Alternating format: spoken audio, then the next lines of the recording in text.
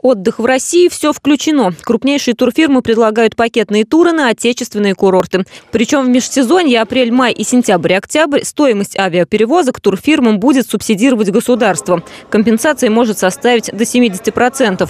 Такие путевки самарцы смогут приобрести уже в ближайшие две недели. С апреля по ноябрь э, жители Самары смогут уже по очень бюджетным ценам посетить разные различные курорты национальные.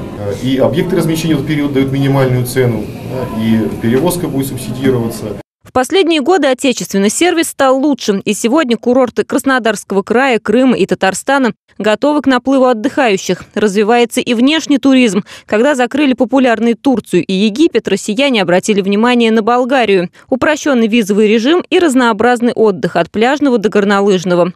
Как итог, поток туристов в эту страну увеличится на 30%. Жители Самарской области могут вообще далеко не выезжать. В регионе развивают местный туризм. В этом году утвержден календарь событий 2016. И турфирмы уже взяли его на вооружение.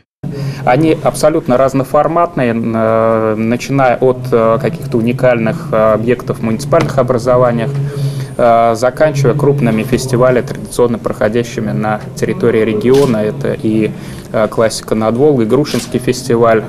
Наша задача, чтобы агентства сформировали маршруты комфортные для путешествия Задача властей сделать Самару привлекательной не только для жителей, но и для ее гостей как российских, так и зарубежных. Особенно это актуально в преддверии чемпионата мира по футболу 2018. Марина Матвеевна, Дмитрий Мешканцов. События.